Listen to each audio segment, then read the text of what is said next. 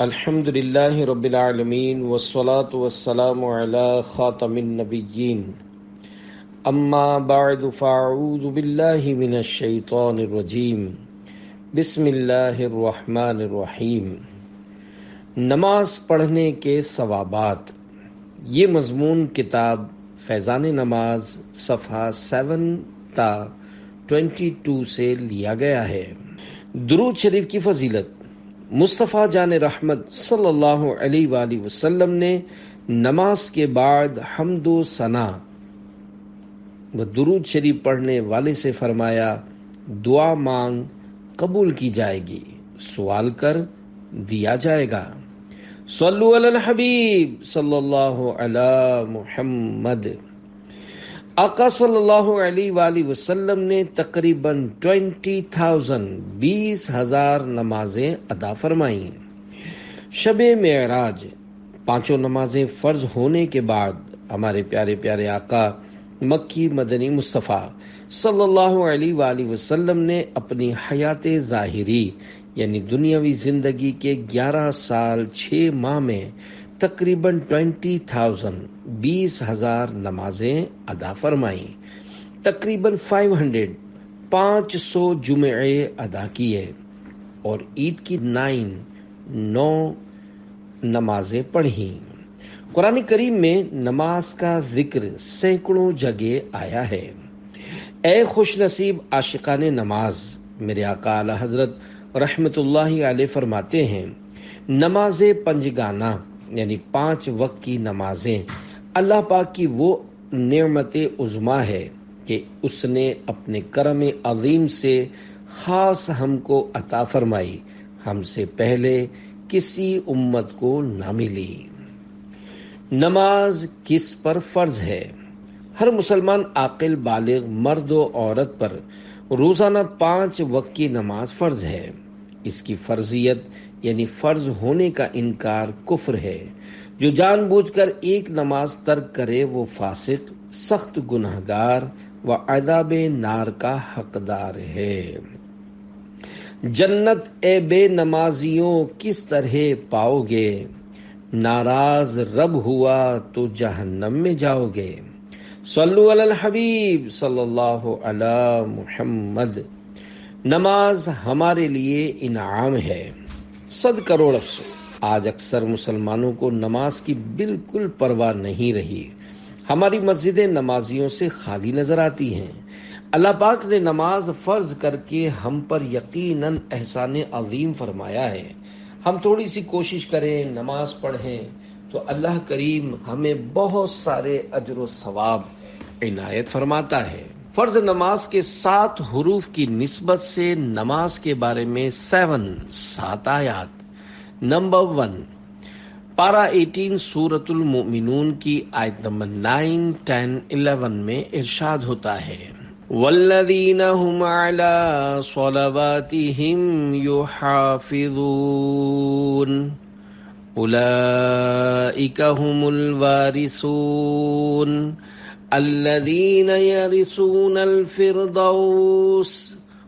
हम फीहा खालिदून तर्जमा कंजुल ईमान और वो जो अपनी नमाजों की निगहबानी करते हैं यही लोग वारिस हैं कि फिरदौस की मीरास पाएंगे वो उसमें हमेशा रहेंगे नंबर टू अल्लाह पाक ने कुरान करीम में जा बजा नमाज की ताकीद फरमाई है पारा सिक्सटीन सूरह तोहा आय फोर्टीन में इरशाद होता है।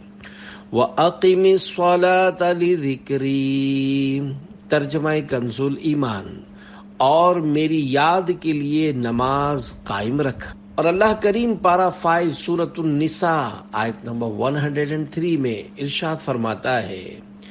इन कानत अलल मुमिनीन किताबम मौकूता तर्जमा कंजुल ईमान बेशक नमाज़ मुसलमानों पर वक्त बांधा हुआ फ़र्ज़ है अल्लाह पाक पारा ट्वेल्व सूरह हूद आयत नंबर 114 में इरशाद फरमाता है अकीम तरफ़ नहारी व जुलफम मिनल लैल इन्नल हसनात युज़हिबन सय्यिआत ज़ालिक ज़िक्रा लिज़्ज़ाकिरीन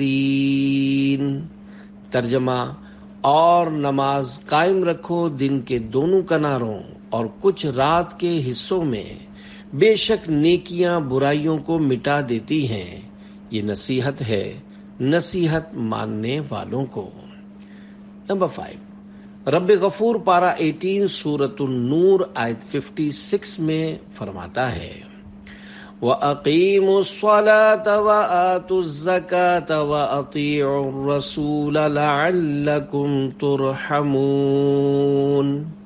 तर्जमा कंजुल ईमान, और नमाज़ बरपा रखो और जक़ात दो और रसूल की फर्मा बरदारी करो, इस उम्मीद पर कि तुम पर रहम हो।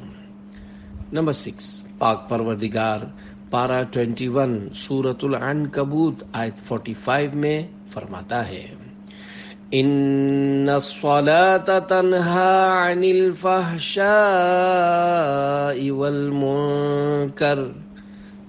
कंजुल ईमान, बेशक नमाज़ मना करती है बेहयाई और बुरी बात से।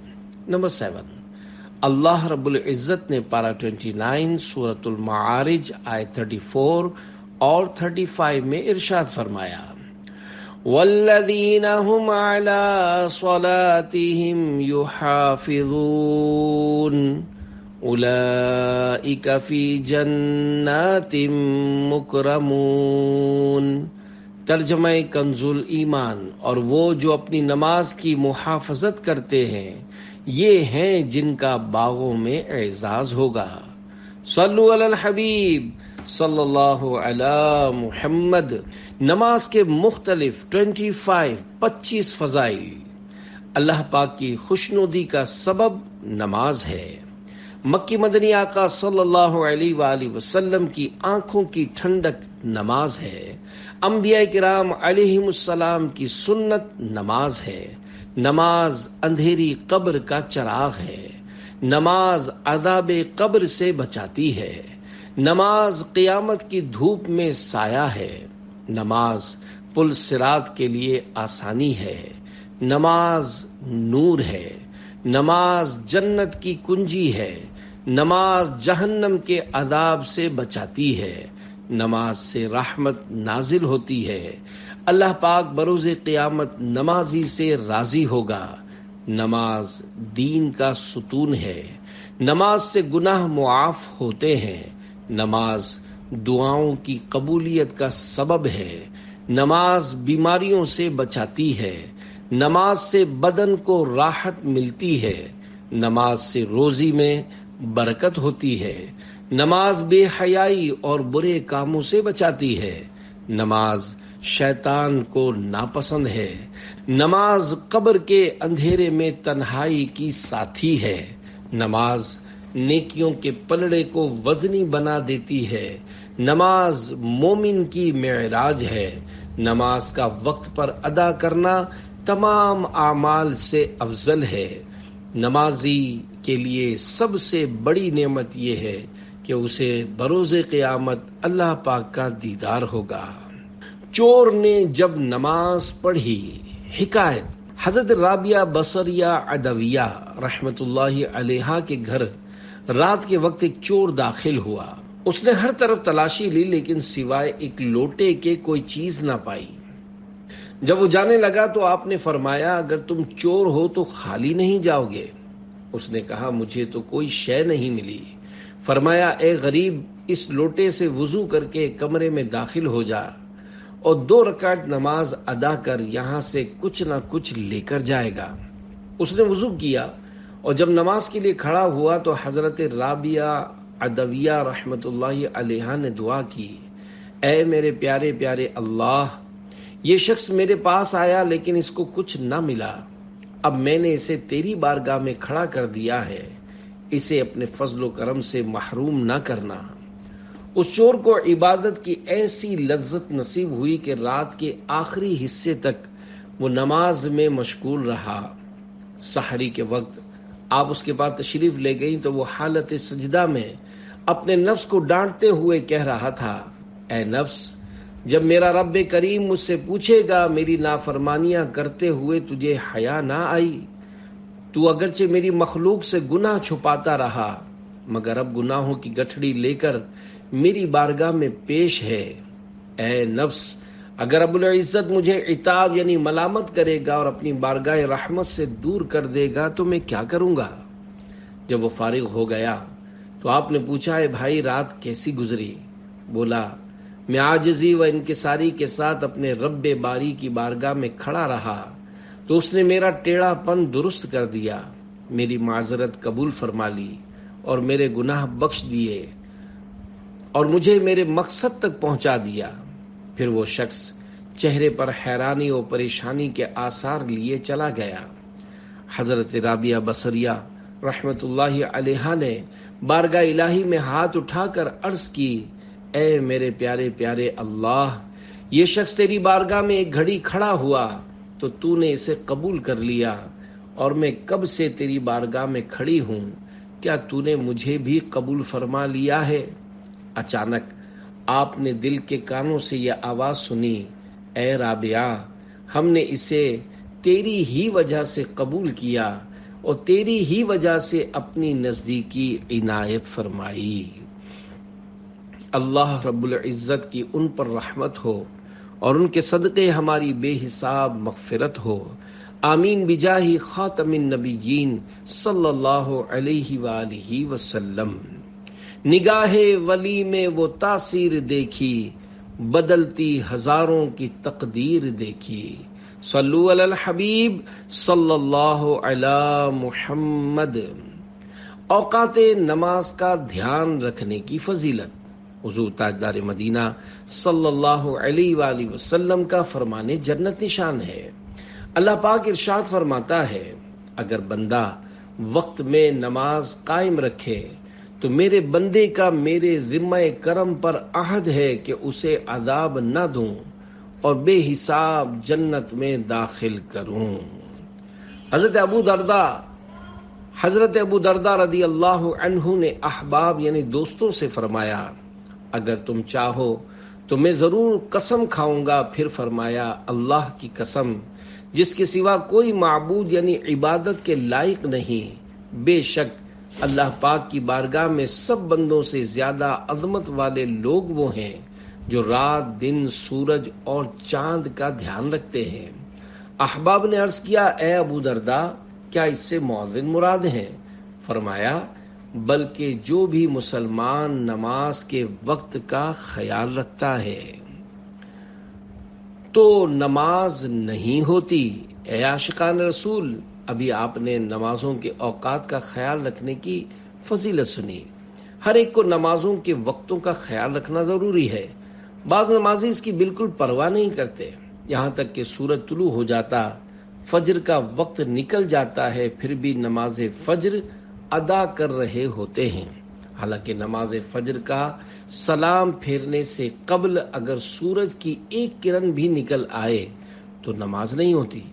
मेरे आका हज़रत रहमतुल्लाह फरमाते हैं, वक्त पहचानना, यानी नमाज़, रोज़े वगैरह के औकात की मालूमात रखना तो हर मुसलमान पर फ़र्ज़ ऐन, यानी हर आकिल बालिग मुसलमान पर ज़रूरी है। अब औकात की मालूम ज़्यादा मुश्किल नहीं रही। ए आशिकान रसूल, आजकल तरक्की का दौर है। अब औकात की मालूम ज़्यादा मुश्किल नहीं रही। वक्त मालूम करने के लिए घड़ियाँ मौजूद हैं। पहले लोग सूरज, चाँद और सितारे देखकर वक्त मालूम करते थे।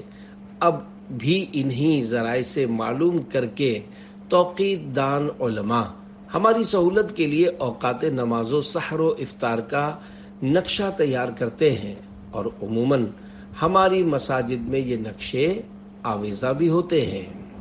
अल्हम्दुलिल्लाह आशकान रसूल की दीनी तहरीक दावत इस्लामी के जेर एहतमाम, मजलिस तोक़ीद गुज्त कई सालों से आला हज़रत इमाम अहमद रजा खान रहमत की तहकीक के मुताबिक दुनिया भर के मुसलमानों की दुरुस्त औकात, नमाजों, सिमत, किबला से मुतालिक रहनुमाई के लिए कोशा है। तादम तहरीर, पाकिस्तान के दर्जनों बड़े शहरों के निज़ामुल औकात, टाइम टेबल शाया हो चुके हैं। जो मकतबतुल मदीना की मुख्तलिफ़ शाखों से हासिल किए जा सकते हैं। मजीद मुल्क को बैरून मुल्क के कसीर शहरों के निज़ामुल औकात की इशात का सिलसिला जारी है। इन निज़ामुल औकात में शहरों के फैलाव और बुलंद इमारत का लिहाज रखने के साथ साथ आइंदा 26 26 सालों का मुमकिन फ़र्क भी शर्ई एहतियात के साथ शामिल किया गया है। याद रहे कि हर साल औकात नमाज़ में कुछ फ़र्क आ जाता है, जो हर चौथे साल तकरीबन दुरुस्त हो जाता है। लिहाजा मजीद दुरुस्ती के लिए आइंदा 26 26 सालों का मुमकिन फ़र्क भी शर्ई एहतियात के साथ शामिल किया गया। नीज़, मजलिस के तहत तैयार होने वाले मुख्तलिफ़ मोबाइल एप्लीकेशन ऑनलाइन निज़ाम के अलावा अवकातुसला सॉफ्टवेयर के ज़रिए भी दुनिया भर के तकरीबन 27 सत्ताईस लाख मकाम के लिए निज़ामुल औकात सिमत कबिला मालूम किए जा सकते हैं। ज़मीन से दीनार निकालने वाला नमाजी, हिकायत। हज़रत अबू बकर बिन फजल रहमत फरमाते हैं कि मैंने जब इसरार करके अपने एक रूमी दोस्त से इस्लाम लाने का सबब पूछा तो उसने बयान किया, हमारे मुल्क पर मुसलमानों का लश्कर हमला आवर हुआ। जंग हुई, कुछ लोग हमारे कत्ल हुए और कुछ उनके।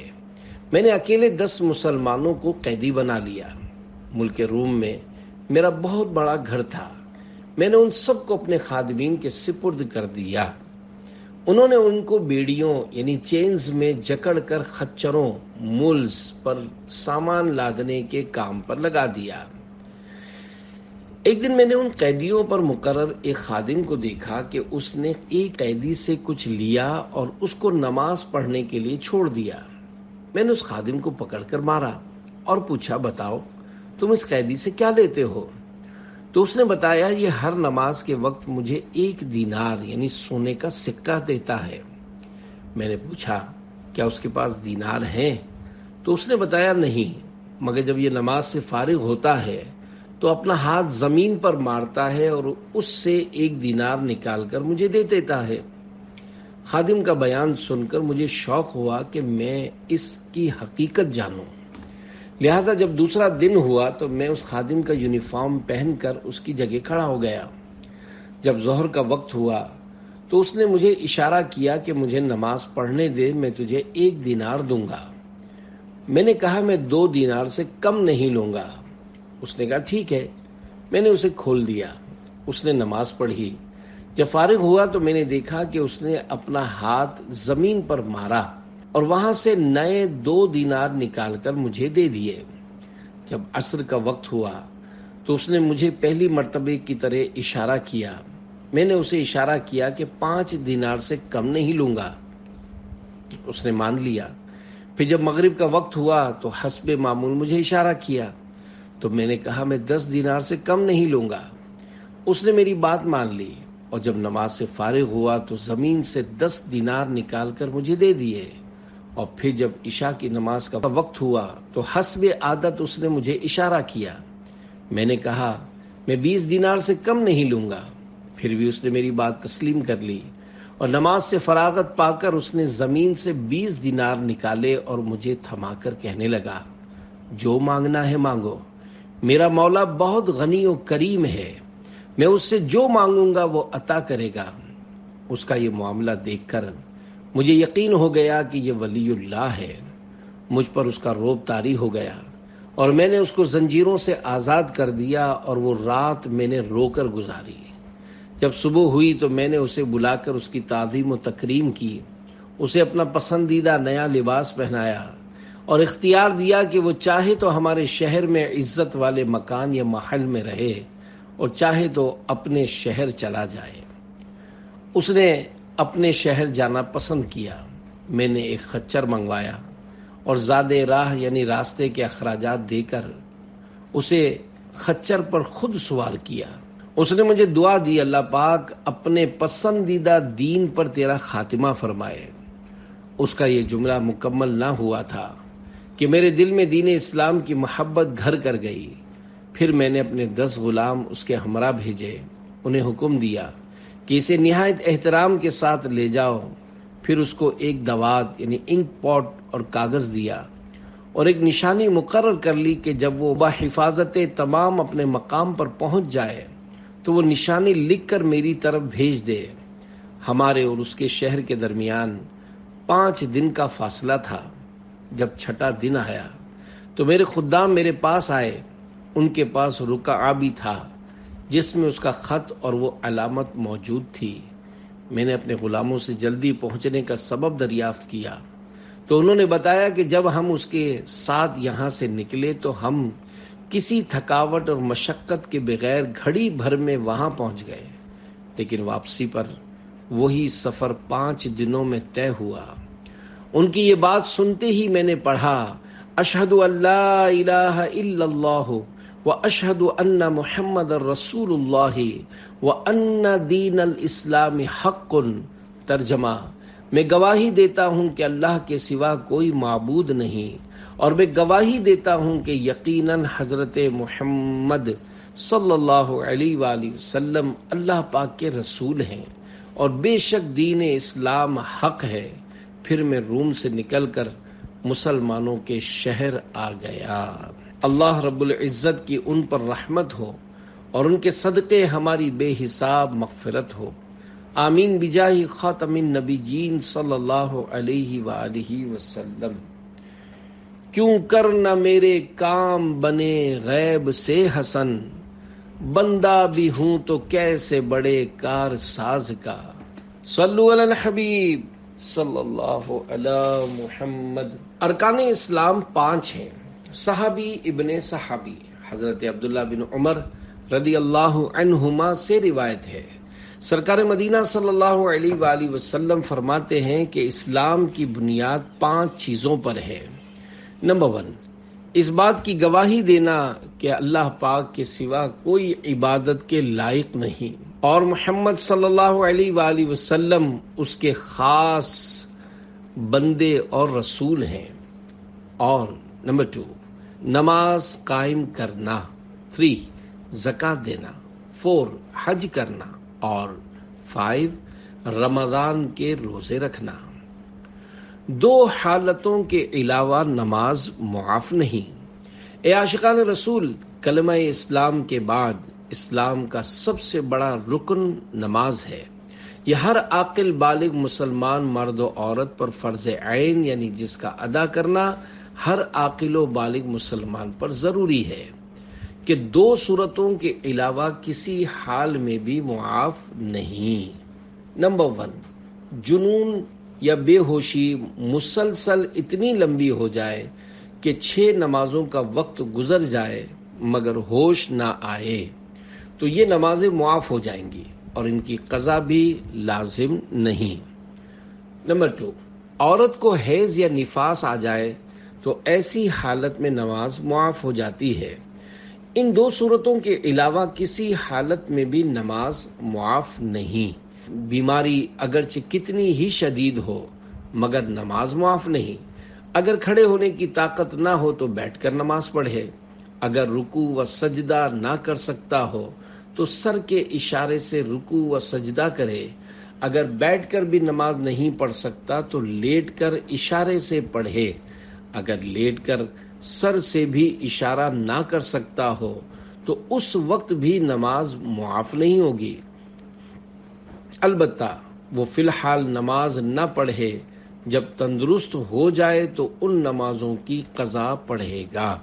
हाँ अगर छह नमाजों का वक्त इसी हालत में गुजर जाए तो उनकी कज़ा साकित, यानी मुआफ हो जाएगी। ऐन जंग में भी मुजाहिद नमाज़ पढ़ेगा। अगर घोड़े पर सवार हो और उतरने की मोहलत ना हो तो मुमकिन होने की सूरत में घोड़े पर बैठे बैठे इशारे से नमाज़ पढ़ेगा। इसी तरह घुमसान की लड़ाई में भी मुमकिन होने की सूरत में इशारे से रुकू व सजदा करके नमाज़ अदा करेगा। कुरान करीम में जिस कदर नमाज़ के ताकीदी अहकाम और नमाज़ छोड़ने पर सख्त वईदें आई हैं, इतनी ताकीद और वईद किसी दूसरी इबादत के लिए नहीं आई। नमाज़ की फर्जियत का इनकार करने वाला, बल्कि इसकी फर्जियत में शक करने वाला भी काफिर और इस्लाम से खारिज है। और जानबूझकर एक वक्त की नमाज़ भी छोड़ने वाला फासिक, सख्त गुनाहगार और अदाब नार का हकदार है। अफसोस, आजकल बाद मुसलमान जो नमाजी कहलाते हैं, इनका ये हाल है जरा इन्हें बुखार या दर्द सर हुआ तो नमाज़ छोड़ देते हैं। इन्हें मालूम होना चाहिए कि जब तक इशारे से भी नमाज़ पढ़ने की ताकत रखते हैं, नमाज़ पढ़नी होगी, वरना अदाब नार के हकदार होंगे। अल्लाह रब्बुल इज़्ज़त हम सबको रोज़ाना पाँचों वक्त बाजमात नमाज़ अदा करने की सादत इनायत फरमाए। आमीन बिजाही खातमिन नबीन सल्लल्लाहु अलैहि वसल्लम। प्यारे प्यारे इस्लामी भाइयों, मदीने के ताजदार सल्लल्लाहु ने बारहा नमाज़ की अहमियत पर ज़ोर दिया है और हमारी तरगीब के लिए बेशुमार फजाइल भी बयान फरमाए हैं। चुनाचे, सुनिए और झूमिए। उम्मत मुस्तफ़ा से मूसा सलाम की हमदर्दी। शहनशाह मदीना सल्लल्लाहु अलैहि वसल्लम का फरमाने आलीशान है। अल्लाह पाक ने मेरी उम्मत पर पचास, फिफ्टी नमाजें फ़र्ज़ फरमाई थी। जब मैं मूसा अली सलाम के पास लौट कर आया तो मूसा अली सलाम ने दरियाफ्त किया कि अल्लाह पाक ने आप सल्लल्लाहु अलैहि वसल्लम की उम्मत पर क्या फ़र्ज़ किया है? मैंने उन्हें बताया कि अल्लाह पाक ने मुझ पर पचास नमाजें फ़र्ज़ की हैं। तो आप कहने लगे अपने रब के पास लौट कर जाइए। आप सल्लल्लाहु अलैहि वसल्लम की उम्मत इतनी ताकत नहीं रखती। मैं लौट कर अल्लाह पाक के पास गया, इन यानी पचास से कुछ हिस्सा कम कर दिया गया। जब फिर मूसा सलाम के पास लौट कर आया तो उन्होंने फिर मुझे लौटा दिया। अल्लाह पाक ने फरमाया अच्छा पाँच यानी फाइव हैं और पचास यानी फिफ्टी के कायम मकाम है। क्योंकि हमारे कौल में तब्दीली नहीं होती। मैं मूसा सलाम के पास लौट कर आया। उन्होंने कहा, फिर अल्लाह पाक के पास लौट जाइए। मैंने जवाब दिया, मुझे तो अपने रब से शर्म महसूस होने लगी है। पाँच नमाजें पढ़िए, पचास का सवाब कमाइए। हज़रत अनस रदी अल्लाह ने फरमाया, सरवर कायनात सल्लल्लाहु अलैहि वसल्लम पर मेराज की रात पचास नमाजें फ़र्ज़ की गईं, फिर कम की गईं, यहाँ तक के पाँच रह गईं, फिर आवाज़ दी गई, ए महबूब सल्लल्लाहु अलैहि वसल्लम, हमारी बात नहीं बदलती, और आप सल्लल्लाहु अलैहि वसल्लम के लिए इन पाँच के बदले में पचास का सवाब है। मूसा अली सलाम ने मदद फरमाई, ए आशिकान रसूल, देखा आपने हज़रत मूसा कलीमुल्लाह ने अपनी वफात जाहिरी के ढाई हज़ार बरस बाद उम्मत मुस्तफ़ा की ये मदद फरमाई कि शब महराज में पचास नमाजों के बजाय पाँच करा दी।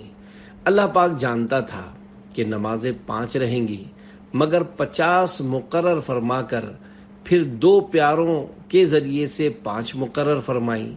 यहाँ दिलचस्प बात यह है कि जो लोग शैतान के वसवसों में आकर इंतकाल कर जाने वालों की मदद और ताउन का इनकार कर देते हैं, वो भी पचास नहीं, पाँच नमाजें ही पढ़ते हैं। हालाँकि पाँच नमाजों के तकर्र यानी मुकर्र फिक्स किए जाने में यकीनी तौर पर गैरुल्लाह, यानी अल्लाह के सिवा की, और वो भी इंतकाल के बाद की जाने वाली मदद शामिल है। खेलों का शौकीन, अपने आप को नमाजों का पाबंद बनाने, शैतानी वसवसों से बचाने और ईमान की हिफाजत की सोच पाने के लिए आशिकान रसूल की दीनी तहरीक दावत इस्लामी के दीनी माहौल से हर दम वाबस्ता रही है। आइए एक मदनी बहार सुनते हैं।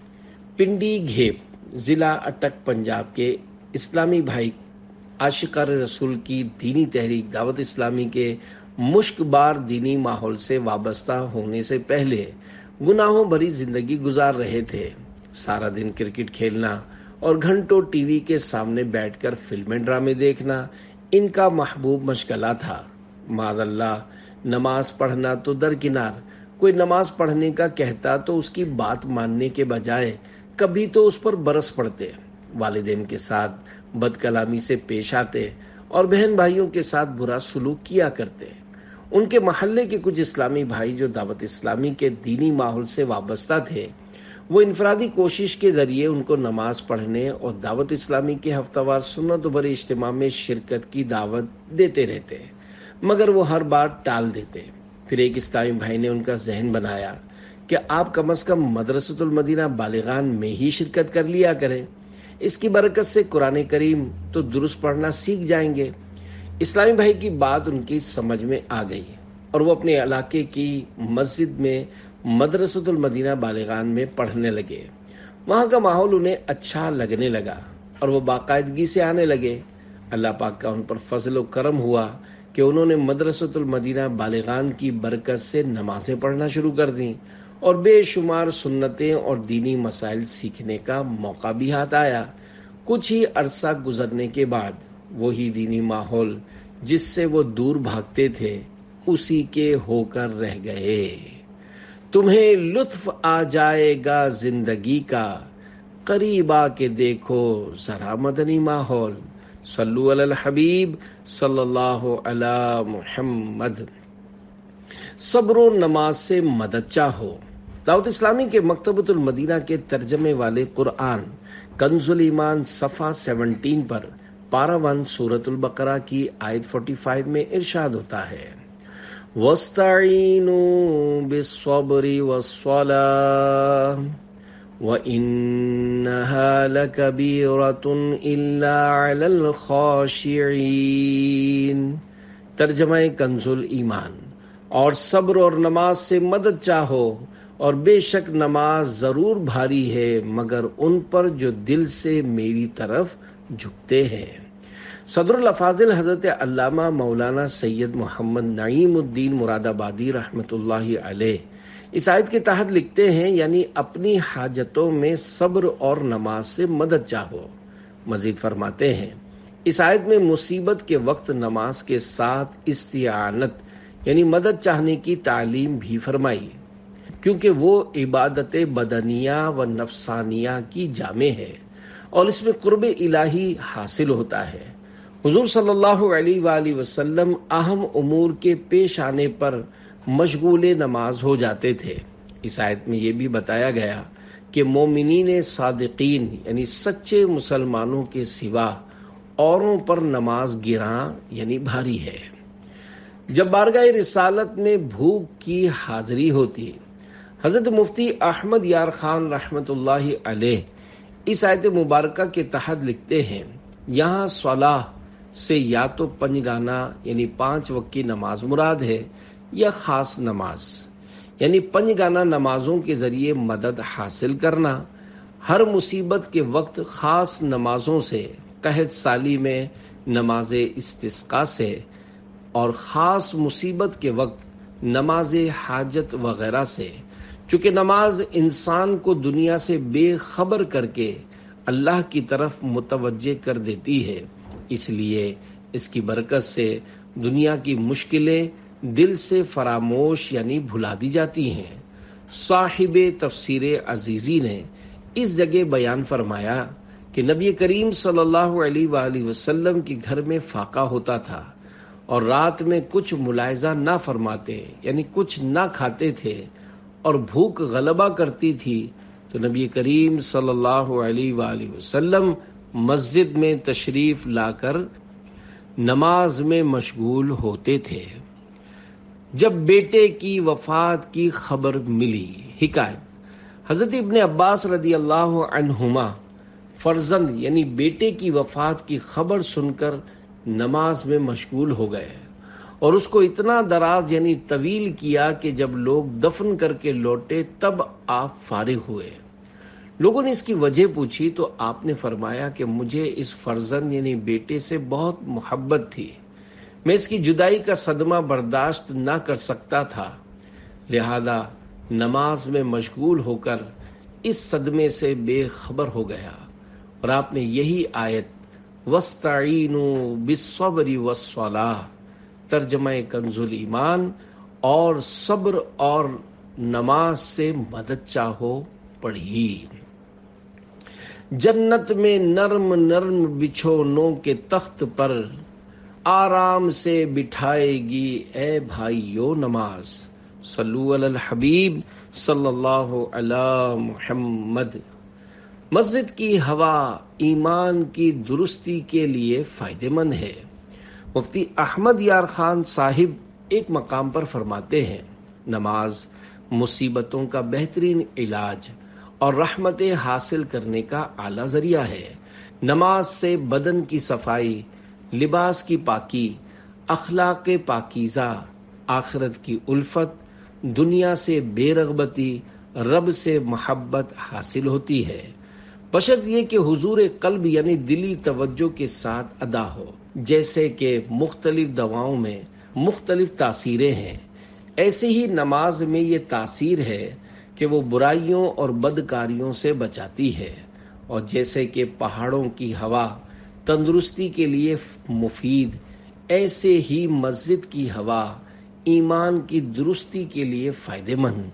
नमाज़ में एक ख़ास बात यह है कि ये इंसान के ध्यान को बटा देती है।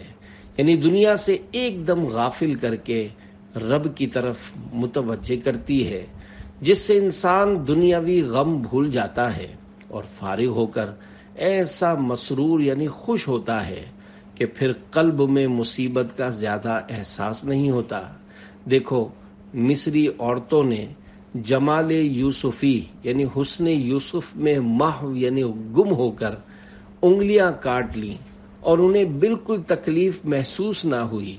बजाय हाय वाय करने के ये कहती रहीं कि माँ हादा बशरा, इन हादा इल्ला मलकुन करीम तर्जमा कंजुल ईमान, ये तो जिनसे बशर से नहीं, ये तो नहीं मगर कोई मुआज़ फरिश्ता। रहमत के शामियानों में खुशबू के साथ साथ ठंडी हवा चलाएगी, ए भाइयों नमाज़। सल्लु अल हबीब सल्लल्लाहु अला मुहम्मद।